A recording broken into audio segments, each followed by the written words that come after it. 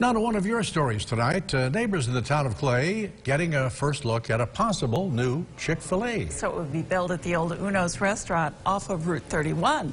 Representatives of the popular chicken spot said tonight they want to knock down the current building. The plans call for 65 parking spaces, 102 seats inside to eat, and a double drive-through. The Town of Clay Planning Board will look over the design next month.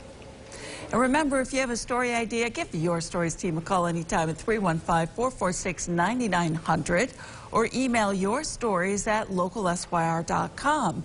You can also reach us on social media with the hashtag Your Stories.